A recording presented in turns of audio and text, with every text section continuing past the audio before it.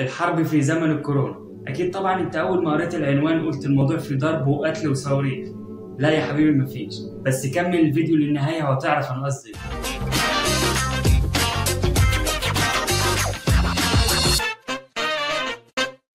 إيه. النهارده معايير الحرب اختلفت وبقى في حرب من نوع جديد لأن الدول اقتنعت إن حرب الجيوش ما بتجيبش غير الدمار والخراب. بقى في حرب اقتصادية واجتماعية وسياسية. الحرب بقى في زمن الكورونا بقت حرب اقتصادية. أكيد طبعا كلنا سمعنا عن الانخفاض الرهيب لسعر البترول اللي وصل ل 16 دولار وده ما حصلش من يجي 18 سنة.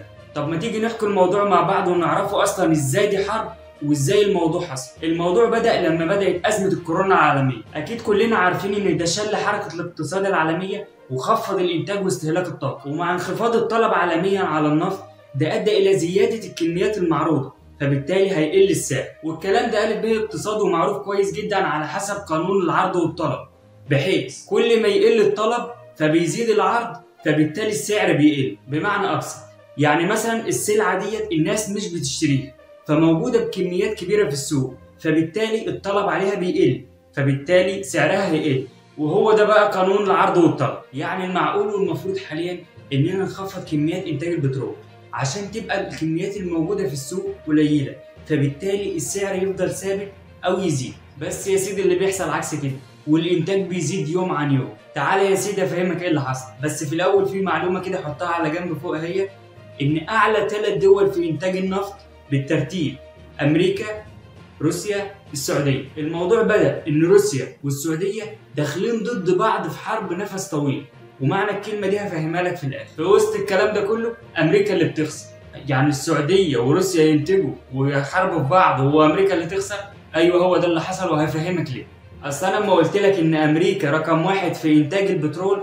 ما قلتلكش إن في فرق بين بترول أمريكا وبترول روسيا والسعودية. روسيا والسعودية عندهم النفط الخام إنما أمريكا عندها النفط الصخر طب إيه الفرق؟ الفرق طبعا يا سيدي في تكاليف الإنتاج. تكاليف إنتاج النفط الخام أقل بكتير من تكاليف إنتاج النفط الصخري زمان النفط الصخري ما كانش بيتم انتاجه لأن زي ما عرفنا إن تكاليف انتاجه مرتفعه بس مع تطور التكنولوجيا زاد الطلب فانخفض سعر الإنتاج بالإضافة طبعا لارتفاع سعر النفط العالمي.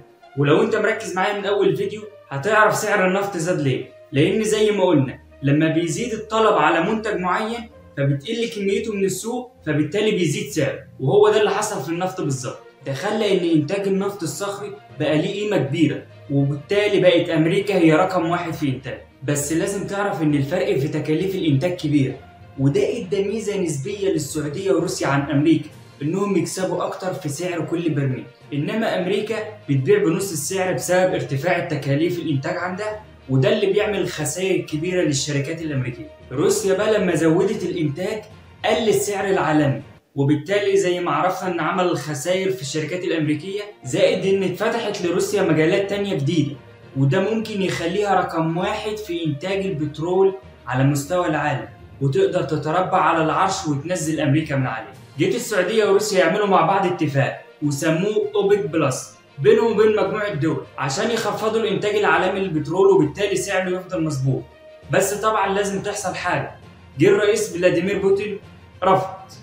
طب ليه يا عم بوتين ترفض السعودية هتسكت لا طبعا جيت السعودية علت عليها وراحت مزودة الإنتاج وانضمت ليها الإمارات. الموضوع فعلا بقى بين روسيا والسعودية بقى أشبه بالحرب والمتضررة في النص هي أمريكا وده حل أمريكا. طب الحرب لما هتبقى بالاقتصاد بقى أمريكا رقم واحد هتستسلم بسهولة؟ جه الرئيس ترامب شارك كميات كبيرة من البترول لبعد إنتهاء فيروس كورونا عشان يستهلكها بعد كده وبالتالي يسد عجز الموازنة اللي واقف معاه حاليا. طب سيبك من أمريكا خلينا في روسيا والسعودية. السعودية في أسوأ السيناريوهات هي برضو الأقوى. عاوز أقول لك إن سعر إنتاج برميل النفط في السعودية ممكن يوصل من 2 ل 4 دولار. أنت متخيل؟ يعني كده كده مش فارقة مع السعودية. ده طبعا غير إن احتياط النقد الدولي بتاع السعودية عالي. بالإضافة إلى إن السعودية في الفترة الأخيرة بدأت تنوع في أنشطتها الاقتصادية. يعني مش واقفة على البترول بس. في حاجات تانية بتسد معاها. يعني من الآخر مش فارق مع السعودية وشكلها هي فعلا اللي هتكسب حرب النفس الطويل اللي قلنا عليه عاش السعودية. أما روسيا بقى يا سيدي فقالت إن هي ممكن تقعد من خمس لست سنين على الحال ده. بس أنا عن نفسي والله أشوف هو صحيح تكلفة البرميل من 7 ل 9 دولار بس مش ده الموضوع. الموضوع إن هو محتاج فرق السعر عشان يسدد عجز موازنة الدولة ويدفع للشركات المتضررة حاليا بأزمة كورونا. أمريكا بقى يا سيدي هي اللي محتارة. متوسط تكلفة البرميل عندها بتوصل ل 55 دولار. طب باقي الدول إيه موقفهم من التضرر في انخفاض الأسعار الحالية؟ ما هي الدنيا كلها مش روسيا والسعودية وأمريكا. الدول دي مقسومة لاتنين. يا إما مخزنة بترول عندها من قبل الأزمة وحاليا غصب عنها هتبيعها بالخسارة. أو إن الدولة دي عندها القدرة إنها تخزن البترول حاليا زي أمريكا ما بتعمل. بس لو الأزمة استمرت وما عرفتش تجيب فلوس منين تبقى سنتها سودة. يعني زي ما في من الدول اللي كسبان وفرحان وفي اللي خسران وزعلان. وفي النهاية لو عجبك الفيديو ما تنساش تعمل like و share و subscribe. والمصادر موجودة تحت في ال description أسفل الفيديو. ولو عندك أي اقتراحات لحلقات جديدة يا ريت تكتبها في الكومنتات. وشكرا.